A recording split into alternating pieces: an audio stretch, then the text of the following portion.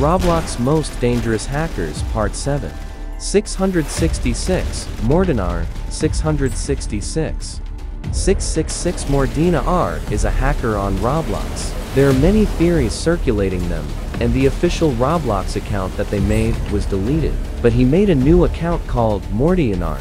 This account has been seen many times hacking different games, normally inactive games. 666 Moordenar has or had been known to accept friend request to those who requested.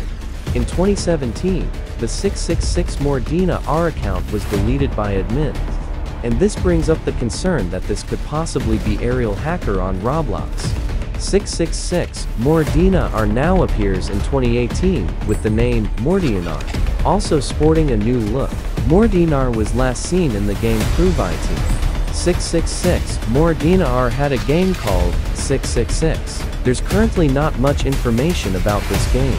All that was known is that the appearance of the game was a haunted house, fire, blood, and skeletons.